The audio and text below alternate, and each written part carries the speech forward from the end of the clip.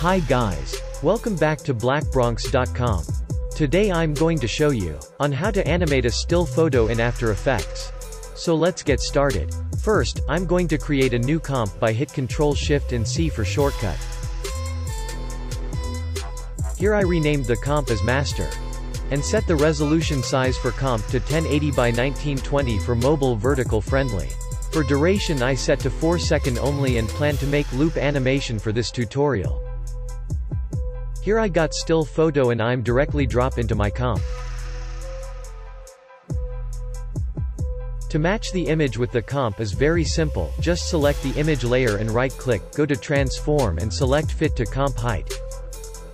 Now the image looks perfect match with comp size. Next, let's pre-comp for this image layer by hit Ctrl, Shift and C for shortcut. I rename this pre-comp as Base 01 to make my workflow more tidy. Make sure you select Move All Attributes into the new composition, and hit OK. Let's duplicate this comp and start animate the smoke. I hit Ctrl plus D for shortcut.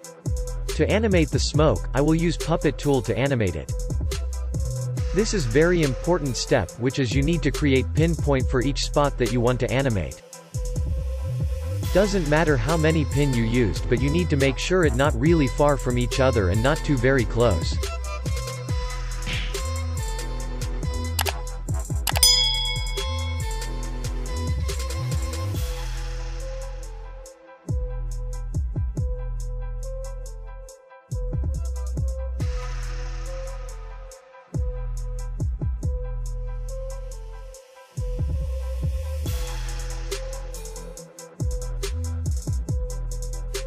Alright we done to set points at the beginning frame. Let's go to the end frame and start animate the pin position.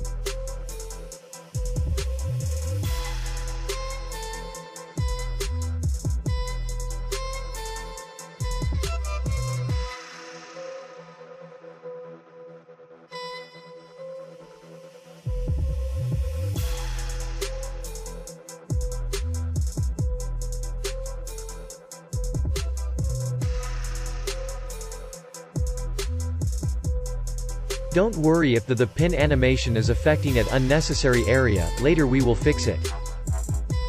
Now you can see the basic smoke animation here but it also affect the other area. Don't worry, let's fix it. First, let's duplicate the original comp by hit Ctrl plus D. Then move the layer to the top. I change the animation comp layer to red color so that easy for me to identify it.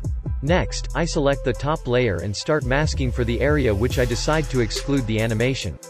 I'm using pen tool to mask the layer.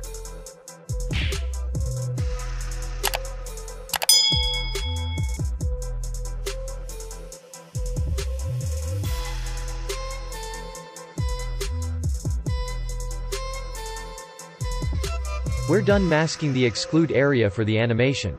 Now I need to feather the edge of masking area to make it soft and blend together with animation layer. Select the top layer and hit M twice to reveal the masking setting.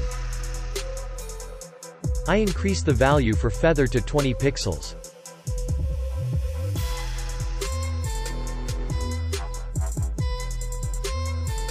There have another option to feather the edge for the masking area. I'm going back to pen tool icon here. Then I click the pen icon and hold it until it reveal hidden other tools.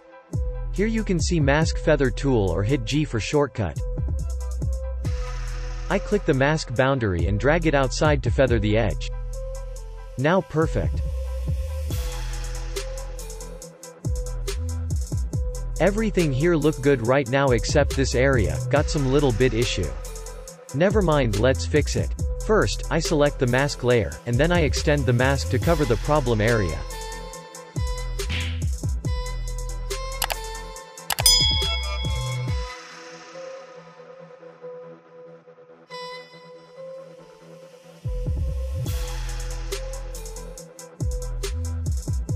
Now we good to go. The animation look perfect here. This time let's make the animation looping. First, we need to go middle of the entire duration which is 2 seconds. Next let's create marker for our indicator. Select the animation layer first, then right-click on it and go to marker and select add marker. You can see the marker icon is appearing here now, it become indicator for the middle of layer duration. Next, let's duplicate the animation layer and then we need to set the opacity. I'm select the layer and hit T to reveal the opacity setting. I set keyframe for opacity at the middle of duration at 100%. And then I set keyframe opacity at 0% at beginning and also at the end of timeline. Now perfect. Now let's move the layer and offset it backward until the middle marker reach at the end of the timeline. Right now I duplicate again the layer and then I move the layer and offset it forward until the middle marker reach at the beginning of the timeline. Everything look perfect now. Here you can see the smoke animation is perfectly looped. Let's do final touch up. I would to add some dust falling from the sky. First we need to create solid layer by hit Ctrl plus Y. I rename the layer as dust and other I just set as default. Next, let's apply CC snowfall from preset to the solid layer.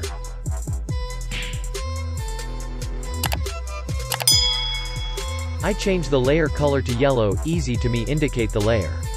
For the last part, we need to tune the CC snowfall setting. Set the size to 7. Set the variation percent to 100. Scene depth set to 8000. Wind set to 100. Set variation percent set to 40. For the last one is uncheck the composite with box. Now you can see the dust perfectly awesome. Let's make it the dust animation loop. We will do the same process like we did before for the smoke animation loop. Here I hit T to reveal the opacity setting and then I set keyframe 100% opacity for middle duration. Then I set 0% opacity for the beginning and ending of the timeline.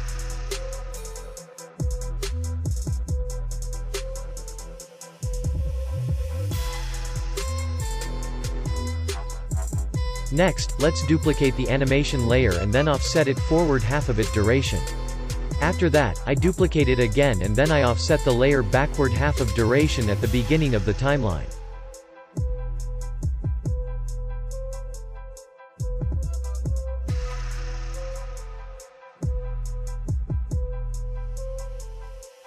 So here the final result for this tutorial. Thank you so much for joining me today. Don't forget to click the subscribe button and hit the notification bell down there to get latest update.